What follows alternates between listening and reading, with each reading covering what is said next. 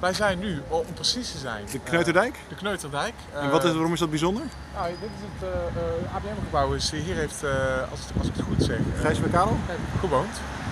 Ah, oké. Toch? Eh, Ja. ja. goed. Dus eh, daar, daar vindt deze scène plaats, behalve Dirk daar dus voor staat. Zie. En eh, daar zijn we net ook binnen geweest. Eh, hartelijk ontvangen. En, eh, en zo zijn we vandaag een flinke PR-campagne aan het, aan het We zijn dus overal in de buurt posters aan het uitdelen. en, eh, Posters, flyeren, het mensen historisch enthousiast museum maken, en, weg worden alles. doen we lekker subtiel TL-licht aan. Dat is een mooie ruimte, Alex. Fijn. En bijna dezelfde maat als het podium. Zie je het al voor je, Yumi? Ja? ploegje. We doen het met z'n vijftienen. En eh, nou, dan heb je nog mensen eh, zoals uh, stagiaire Yumi die dan alle eh, animaties gaat doen. Ehm, geholpen door Alex die me bij Peter en de Wolf heeft meegeholpen. Peter en de Wolf was eh, een, eh, een stuk waar we ook schermen op het podium gebruikt hebben. Hi Alex. Hoi. Zijn we in jouw atelier? Ja. Oké. Ik heb de ruimte net geregeld. Ja, dus dat, Nee. dat kan de donderdag. Ja, zijn dat de kachel niet werkt, maar eh, verder helemaal goed. Oké, nou je moet iedereen gewoon heel hard rennen. Ja. Maar eh, wat doe jij nou eigenlijk eh, in deze productie? Eh, ik had met de ondersteuning van het, eh ehm, ja, hoe zeg je dat, visuele achtergrond, het bewegende beeld op de achtergrond. Dus, dus Yumi en jij gaan een team vormen. Ja, is wel eh, de leider, ik werk meer ondersteunend. Maar, eh, Leuk is dat, stagiaire voorstijgt op deze boven. Wat ben jij bescheiden, dat wist ik ook niet, Alex. ik ben ook verlegen als het wensen op me gericht worden. Oké.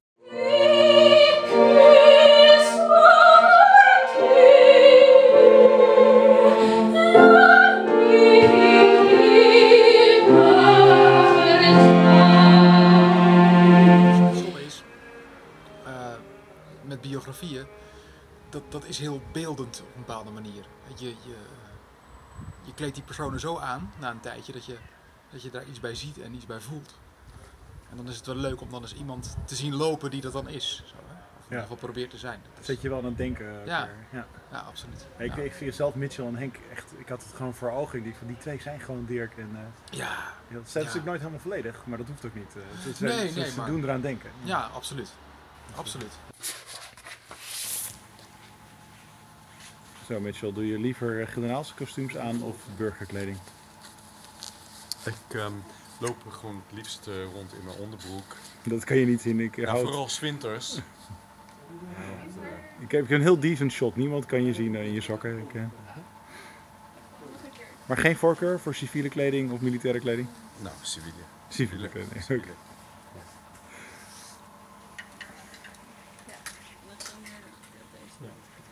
dat jij een, een beetje uit de tijd zakkenloosje hebt, uh, Gijs van Gaal. Hij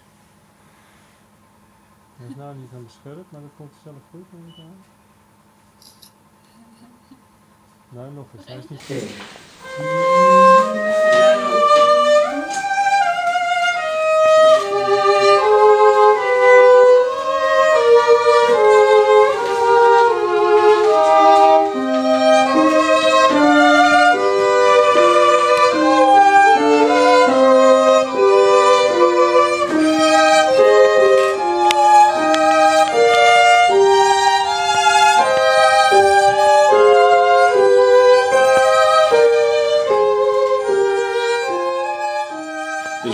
Rond 1815, zie je het idee ontstaan van wij Nederlanders, wij Duitsers, wij Fransen, wij Engelsen. En daarvoor waren mensen uit een regio. En, daar, en opeens vonden mensen van, hé, hey, we moeten als, allemaal samen klitten en eh, als een volk in één ding doen.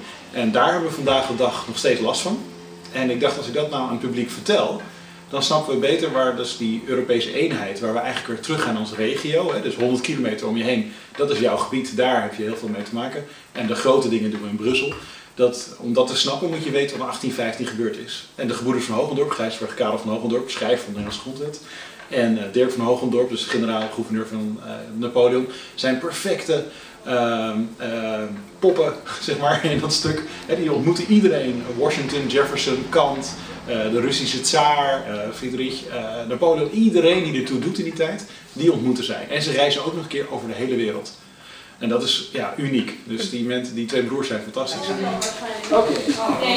Er missen 30 man. Edwin, je moet meezingen ben ik bang toch? We hebben echt te weinig. Ik heb dit geschreven voor koren met 50 of 60 mannen en we missen constant mensen.